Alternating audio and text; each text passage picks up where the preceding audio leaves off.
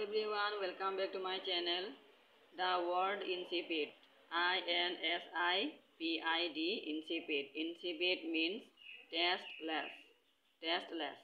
In a sentence, we can say, there is a mug of insipid coffee. There is a mug of insipid coffee.